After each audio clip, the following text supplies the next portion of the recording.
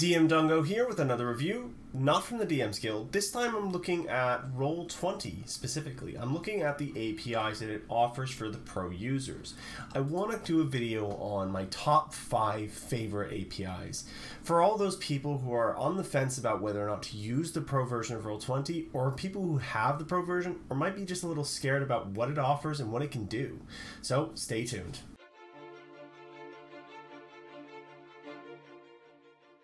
So, my top five APIs for Roll20. I'm going to start with a simple one. Uh, none of these are in any order or any specific like way I've done them. They're not in like like they don't get better as they go along. I think they're more interesting as they go along, but this is one I use all the time and I kind of want to talk about it first because I think it's something that every game can benefit from. So the first thing I do is I go, okay, it's combat tracker. And what it does is it changes some of the things and behaviors of initiative in the Roll20 system. And I'll show you what exactly it does, but there's some really great features. So the first thing I do is you see the turn orders up, and I select each token in turn, and I go, okay, well, I need that one to have initiative, and I need that one to have initiative, and I need that one to have initiative, and that one, and that one. Now, some of what the API is doing here as well is it's looking in the character sheet of the token that it's linked to and saying, well, what's the initiative for this character and what's their uh, dex mod and what's their initiative bonus, and it's pulling that in and doing that kind of stuff. But that's not the bit that is important here. So now that they're all in, now that they're all in the turn order, I go, okay, uh, sort this by descending, and it immediately locks onto the, the first person in the order and goes, okay, this person, he's up to go first. And then it also puts in in the, the chat window whose turn it is. And that person can click this done button and it immediately goes to the next person. And you can keep doing that as you go along. The other thing this does is it also tracks, if you look on this, what round it is. This is incredibly useful for things like if after X rounds something happens or you want to track things of that nature, it's really, really helpful for that. Um, the other thing it does is if you've seen it moving the window around, it's actually focusing it on the current person's initiative. Now, the players don't necessarily see this; they just see um, the the um, they just see their turn pop up in the, the chat window. But the DM does, and for running very large encounters with lots of enemies in it, this is a godsend and incredibly useful. Um, you can you can even do things like group initiative, grab everything, all the tokens at once, and just go initiative, give me all of them, and it will do that for you. That's part of the strength of the API. But the combat tracker is incredibly helpful. I ran a 25 person encounter, and it was actually manageable because I didn't have to do like, did I forget that enemy? Did I forget this one? Did I make a mistake here? The other thing is, is because players are ending their own turns, you never forget them. You never make a, uh, oops, did I forget you? You were supposed to be this initiative it's a lot of things that are very, very helpful. The next thing I want to talk about is the Torch API. Now, this one should seem fairly simple as to what it does, but it has a lot of features that make it really helpful. If you've ever had a token where you've gone, ah, crap, and you've ever used dynamic lighting, you know one of the things you tend to forget is like, oh, I need to give person a torch. Well, that usually involves something like this. Open the token, go into the advanced tab, set the torch to the correct thing, which is that, um, and then all players see light, and clicking save changes. Bam, the character has light. You can see it kind of around this character. But that's kind of a bit of a faff, and you have to go in, in and out of things, and people lose torches, get torches, dark vision, all these kinds of things, and you have to play around with it. What Torch does is it allows you to create little macros that say, hey, I don't want to have to do this on my own, I can go. Um, I can go. Okay, well, I want to create a dark vision macro, and it looks like this. Um, and it will basically go into the token and go, okay, say uh, this character has dark vision. Now he has dark vision. So if I control L to see what the character sees, I can now see that this character does have dark vision. Or if I want to go, well, this character has um, nothing, so he's going to have no light, and he can see nothing now. Um, if I say, maybe he's got a torch light, he's got a torch. This is a really easy way of adding and subtracting things like um, torches and um, lighting effects for different characters without having to open their tokens and, in and out. It makes it really simple.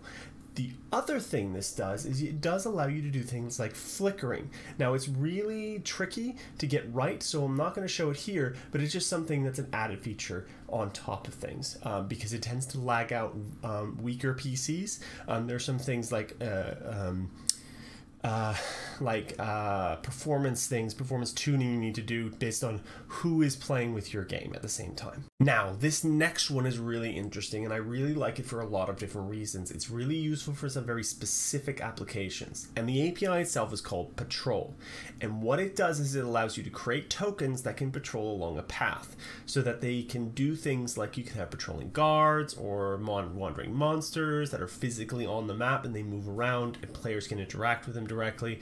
Um, and I've got Lincoln Fizpickle here, and I've got him on um, a map I did for uh, an adventure that I haven't finished a review for yet, uh, but will do soon. So whoever's, if, if you're watching this and you recognize some of the bits in this map, you might see what I'm trying to do.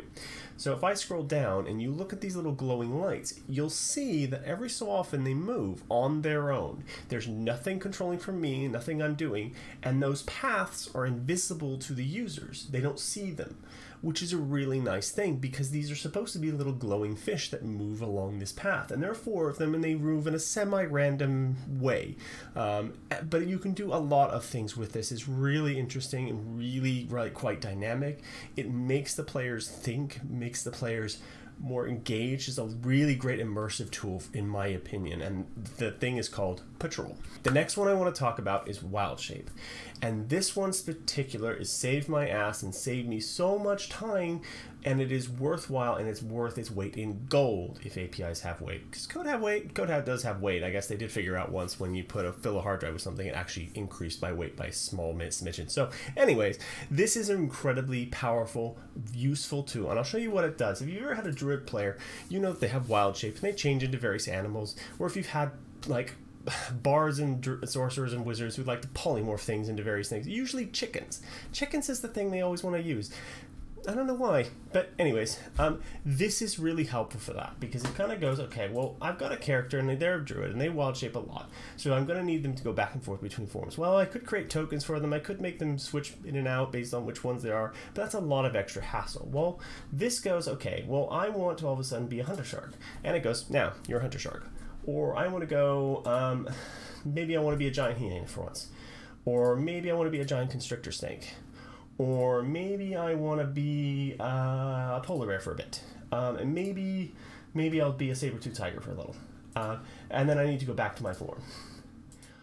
All of that took a lot less clicking and a lot less thinking than it ordinarily would. And the best thing about this is if I go to Giant Toad version and I shift double left click this, it now opens the correct character sheet and the character can, the player can immediately use this as their stat blocks and everything is correct because it pulls these values, these uh, these extra values, the main values, in from the character sheet as part of that. Not as part of the API, this is something I've set up separately, but I've done it so that it will do that and they will match up correctly. I, luckily, I only have one Druid character, so they do match. If you have two, you'll need to create multiple versions of this, but it still will save you so much time in the long run in terms of shifting them back and forth and all this this stuff. Druid Shift really worth. The final one I want to show you is something called It's a Trap. And what this does is it allows you to set up traps within the world that the players don't see that can trigger on a whole bunch of conditions, and not just simple ones like oh do they um, do they they does their token run into it? You can do things like does their passive perception trigger it? Do they see it? What's the DC needed? Does the trap trigger? How much damage does it do? Is it a saving throw? All of this stuff combined together, and you can actually see it here. And what this is is set up such that the the thing in the middle there, that bit there, that is where the trap actually physically is. The red line says, well, this, this red line, this red box, this is where the trap is can be triggered from. And then this bit here says, well, you can see the trap or at least be able to detect it from that point on. Now, Lorelei here, she's got a high passive perception, so all she needs to do is drop herself there and she located the trap immediately popping it straight to the window and saying hey that's there let's let's deal with it that way now if i take if i take the trap and it's on the map layer and i put it back to the gm layer that will rearm the trap and if I take Atticus here and I move him into the same spot, he can't see the trap. His passive perception isn't high enough. He wanders into there though, and the trap triggers. He takes some damage. Uh, that kills him actually outright. Um, uh, but you see what I mean here. this is a really useful tool for if you're trying to design lots of traps, lots of places and areas where things are, and you you don't want to have to try and remember what they all do and what the different conditions are and how what the passive perception thing is, because this is looking in the character sheets and going, what's their passive perception? Tell me if they see this. Now I might want to spread this little um, this this circle a bit wider just so that it was easier for uh, Lorelei to detect it. So her token, if she moves it along, doesn't accidentally like she doesn't accidentally go too far and trigger it automatically. Um, but there it's a really useful tool visually even to say there's a trap there dm remember that um, be, just because it's a nice and easy way of doing things. Right, so those are my top five for Roll20 APIs. Now, there are a lot more, there's a lot more stuff out. There's a lot of things that are really great. Um, area of effect is something that I've used a lot of to detect how big an area of effect is. Um, Kaboom, which is really interesting. I haven't played around with that a lot. Um, there's some long rest macros you can build. Um, they're really interesting but there are a lot of things out there and they're not scary or hard to set up they're just a case of having the pro subscription, plopping them into your system. A lot of these are very, very easy. You just create a new script and plop them in. And some of them are so easy, they're actually part of the. Uh, if you go to the API section in any game, you can just click one you want. Combat trackers like that. Um, a few others are like that, where you just click and say, I want combat tracker, and bot, it will automatically put it in. The setup and configuration for them are really simple.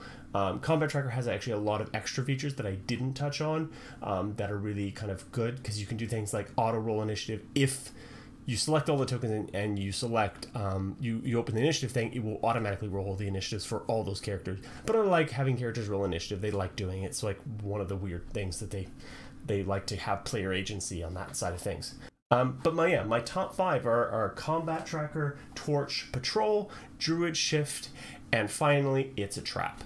They're all great things to include in any Roll20 game, and I have them in almost every single one and use them in various ways.